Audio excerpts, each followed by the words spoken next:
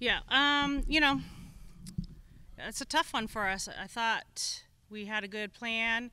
Uh, I thought Shaylee did a great job um, pitching four innings. Kennedy came in and pitched well. You know, obviously got herself in some trouble with some hit batters that ended up, you know, base hit scores. But, you know, it's time to get ready for regionals now. And so, you know, the, my message to them before that last inning, and I talked to them before the game, was um, we're not out of this until the last out. So, obviously, very happy with that last inning. I, I think we could have done a better job of having that type of energy and approach and focus earlier on in the game. But now, questions for our student athletes. Justin, you can go ahead. What was that like for you guys, for your team? What did you do during that rain delay? Walk me through just that long time period, if you would. Um, we kind of waited to we waited here for a while to kind of play it by ear to get kind of what was the next move. then we ended up on the bus, but basically being able to keep our minds in the right place and not going everywhere else, knowing that we're gonna have to come back and finish this game. I think we just have to revamp ourselves up. We were getting off the bus and stuff, and we were getting going, having music going during BP and stuff. But you just had to have the motivation that we did at the beginning of the game. After you're all juiced up for a game, and then to you're in the eighth inning, it's a really close game, and then to have to take that long break away. When the rain did happen, I mean, it was kind of a momentum bust for them and stuff because they just got that big hit, and I don't know. I guess rain does something for us, and we brought the energy that last inning, which, which is good. But at the same time, we should have been bringing it the whole game. Right. we've had a lot of practice on rain delays this year. So. Yeah, Tennessee Too will many. have like a hurricane. yeah, Too many. yeah.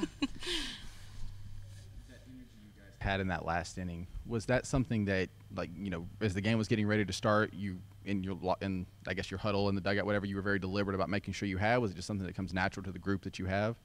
I feel like stepping off the bus, we knew we had to bring something to the field. Like we couldn't just walk on and expect to win the game. So coming off the bus, knowing that we had to bring it. Yeah, especially after a long break, like you know, you have to bring it more than you did at the beginning of the game.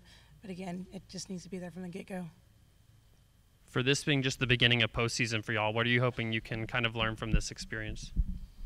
I mean, putting us in the atmosphere, being one and done, I feel like that's kind of eye-opening for a lot of the newcomers, and I mean, everyone that's been through it. It's it's fun to be a part of, but being able to know what it's all about is going to help us, I think, in these upcoming weeks.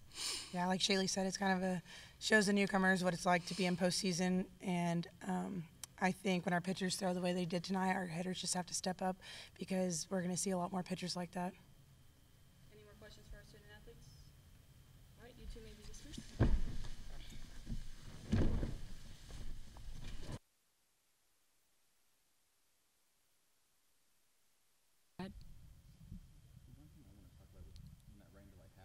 It had been such a pitcher's duel back and Yeah. forth, and South Carolina had just gotten that momentum, and you crushed their momentum, but at the same time, it could have crushed anything you could have. You, you know what I'm saying? Yeah. Tell me about that aspect of the momentum swing, both directions, maybe with that rain delay.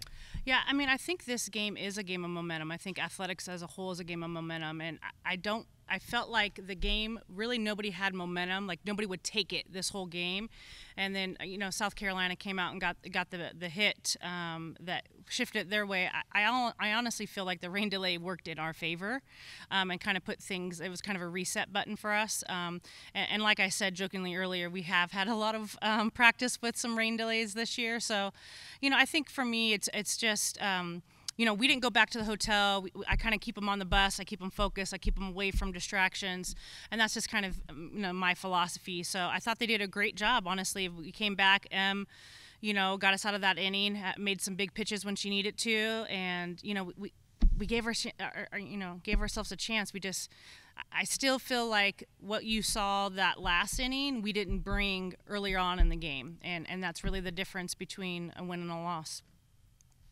With your pitchers and what you thought about their days. Yeah, I thought Shaylee. uh, I actually just said to her walking up, I said I, I'm pretty excited to watch um, film um, because I felt like her ball had some good movement on it tonight, and I thought she had good command. We made a couple of adjustments with her uh, this week in bullpens that I think really helped her from her load and her push off the mound.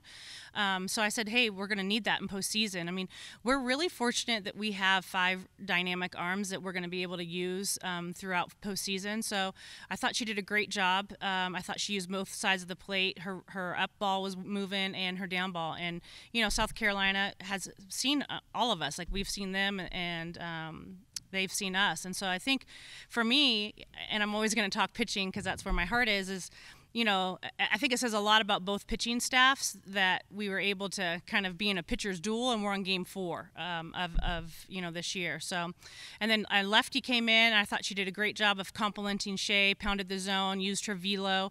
Obviously, got herself in some trouble with the hit batters. Um, but you know, here, here's the thing: um, she she got her, she made those big pitches when she needed to. I mean, the, the ball that they hit was obviously, you know, but it was a seeing-eye ground ball, you know, and they, they were able to execute um, when we weren't able to.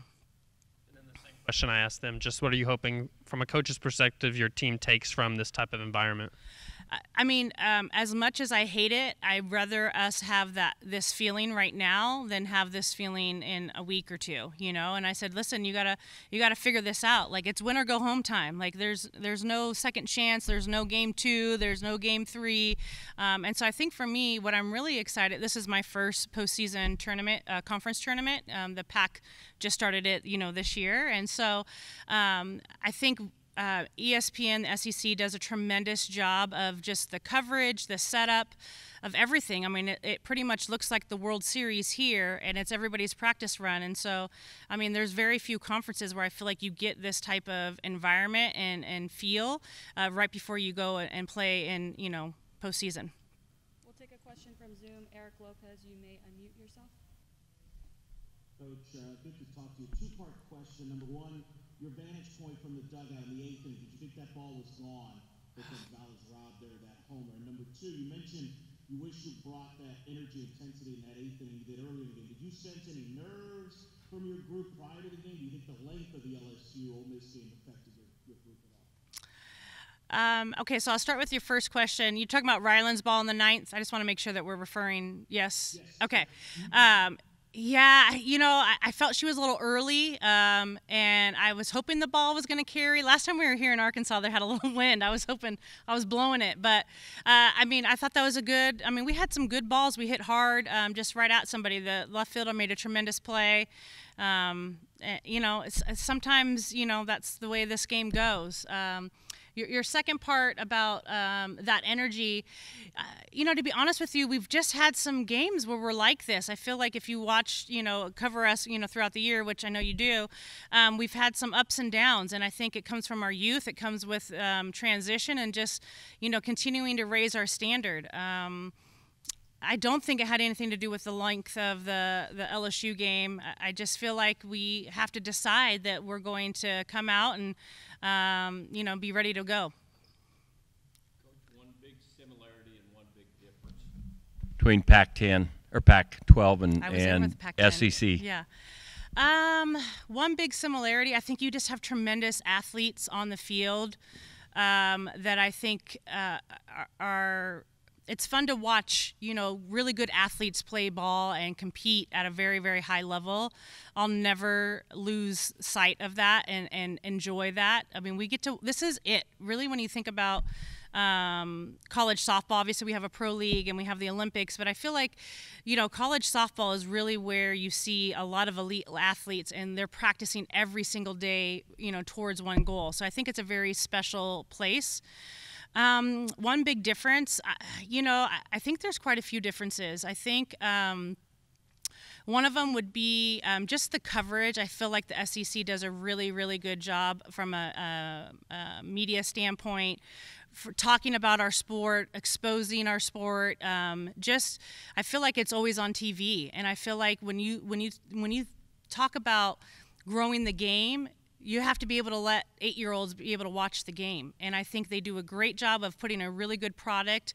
Every school, I mean, basically every school you can plug in and, pl- you know, and, and they can do a full broadcast. And I think that's a huge difference between um, the two.